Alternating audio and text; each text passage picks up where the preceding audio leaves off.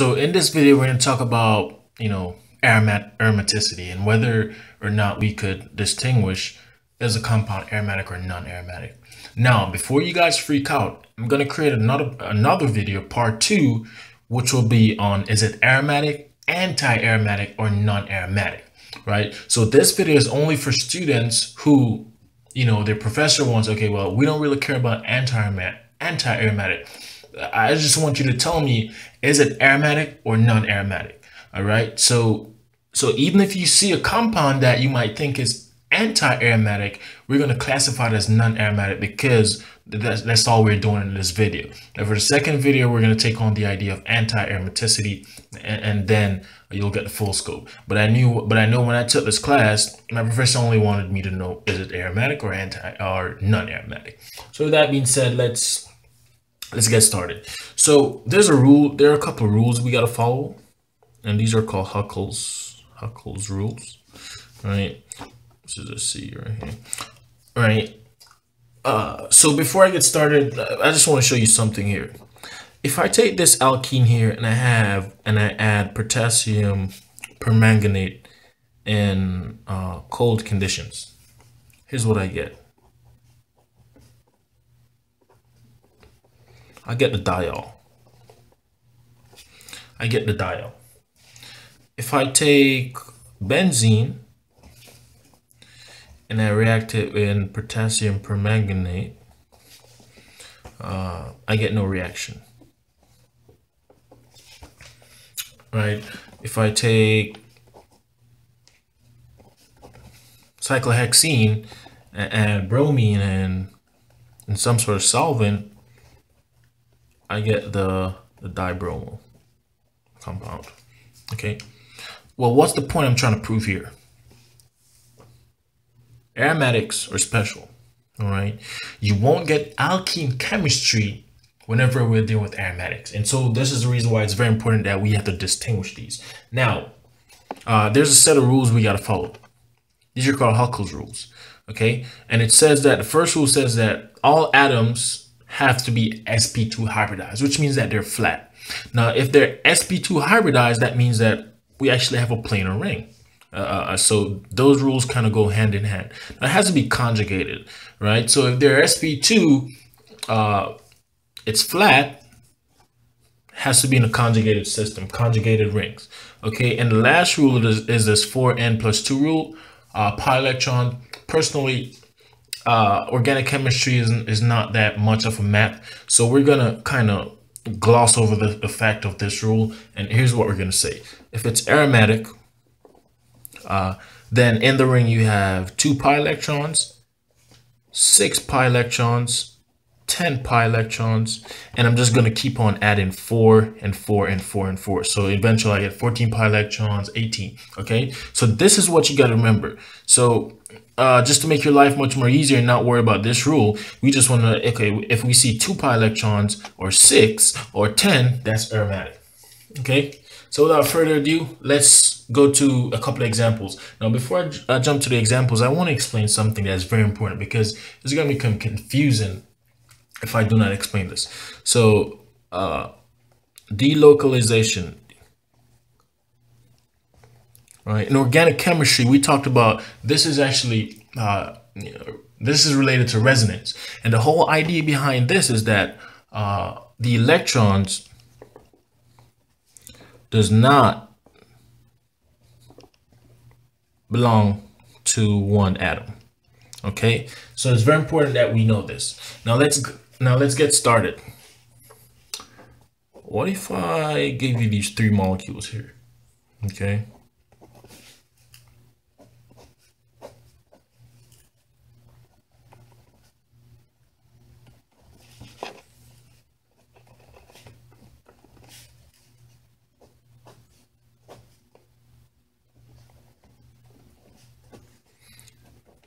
Are these aromatic or non-aromatic?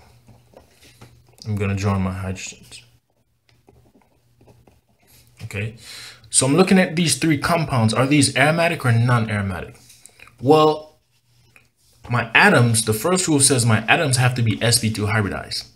This has three, uh, four bonds around it, So four electron groups, one, two, three, four. So that's sp3. So therefore, this is not aromatic. Right. Now, what about this one? Well, how many pi electrons we have? Now, uh, before I move on, we only have two pi electrons here. So again, uh, um, even though we have two pi electrons, we still did not have the idea of sp2 atoms. So another important point is you cannot fail any one of these rules or else there's something else, okay? So even if you pass one, uh, that does not mean it's aromatic. So you have to pass all. Now, taking a look at this compound here, uh, these lone pairs are not localized, which means that uh, uh, they do not belong to the single atom. So what I could actually do is actually uh, delocalize this lone pair into the ring to give me four pi electrons, but that still doesn't get me anywhere. So this is non-aromatic. Right, and you could see it has four pi electrons. Now, in reality, this is anti-aromatic, right? Uh, but again, we don't care about anti-aromaticity in this video. Again, okay? So we see that it has four pi electrons. When we localize these electrons into the ring, it has four pi electrons. Well, we said that in order for it to be aromatic, it has that two, six, and then we increase by four. Okay, so that's non-aromatic. Now, what about this one? Ah, well, let's see we have sp2 hybridized atoms, sp2, sp2, we have two pi electrons. It's conjugated, right? So I could fling these electrons over here and bring my plus charge here. I could fling the double bond over uh, back here and bring the plus charge somewhere else. Okay, so it's conjugated, it's flat, it has two pi electrons, so this is aromatic. All right, so let's look at a couple more examples.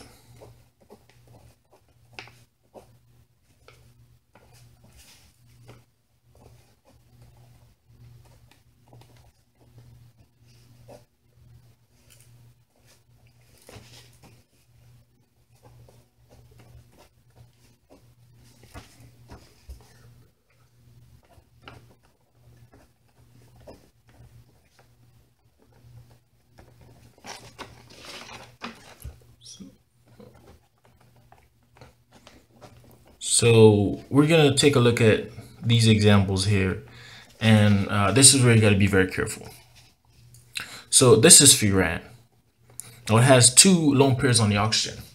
All right. So is this aromatic or non-aromatic? Well, in the ring, I have four pi electrons. All right. Now outside, um, these electrons actually delocalize, right? So this is what I want you to remember. If you could get look, first of all, nature likes low stability, right? Benzene is actually a really stable molecule. And it's the idea because it's aromatic. Anytime you could force one of the electrons to become into the ring to give you, you know, two pi electrons, six pi electrons, or some sort of aromaticity, low, st uh, very stable molecule, then do it. So actually, uh, and that's why I explained the idea of delocalization.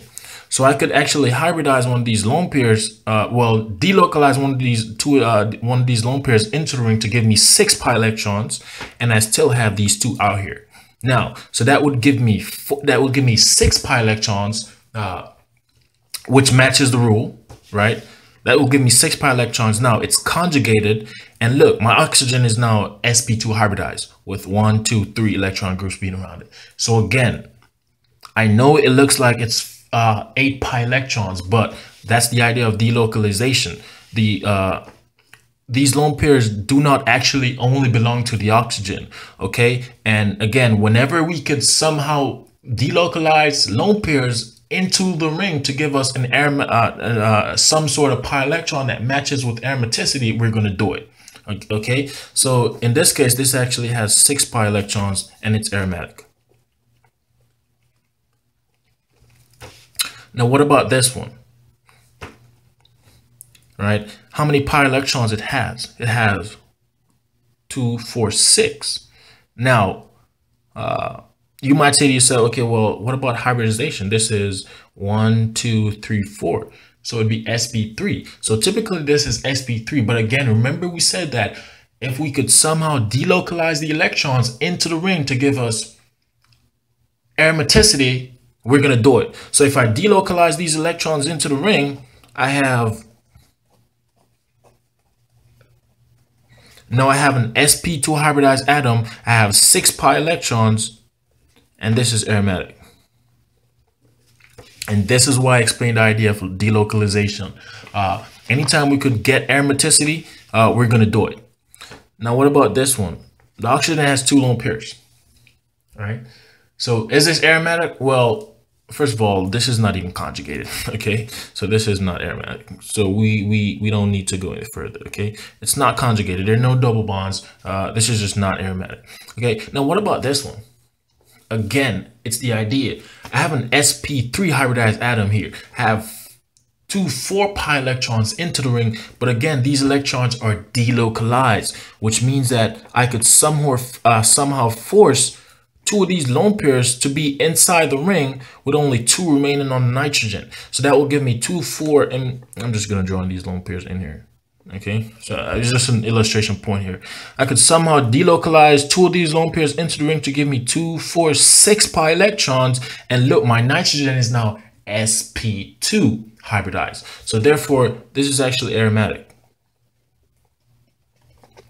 Now, what about this one? Well, without further ado, look at my nitrogen. It's sp3 hybridized. There are no lone pairs to delocalize. They're just bonds. There are there. Okay, so this is non-aromatic. Okay, so that's non-aromatic. Now, uh, let's look at these compounds here. I hate drawing seven membered ring. Let's see. This is one, two, three, four, five, six, seven. Okay, so this is a seven membered ring. Uh,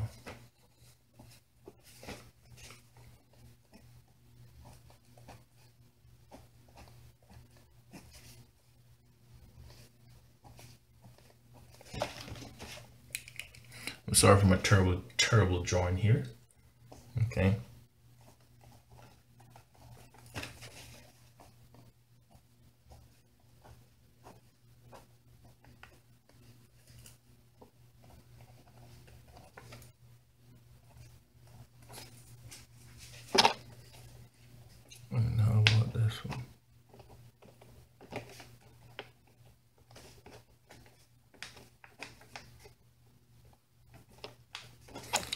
That took a while to draw. But are these, so so let's take a look at this first one. Is this aromatic or non-aromatic? Well, we have two, four, six pi electrons, but hopefully we should see that this is an sp3 hybridized carbon. So this is not.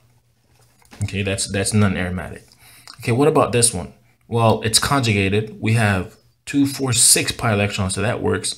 This is sp2 along with all these other atoms. So this is actually aromatic. Now, what about this one? All right.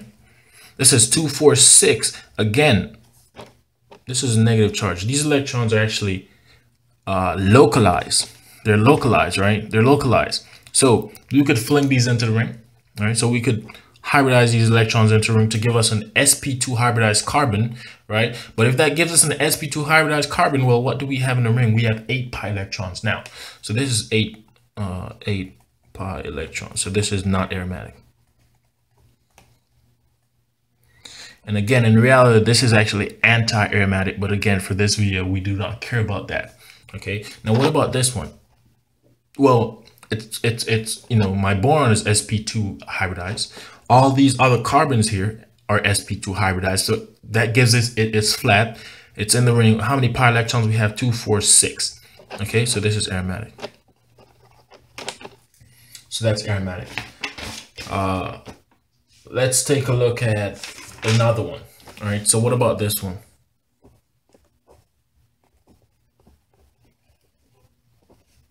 Is this aromatic or not aromatic? Well, this is not aromatic. And again, it's for the simple, it has uh, uh, six pi electrons, but it's not in a ring, okay? It's not in a ring.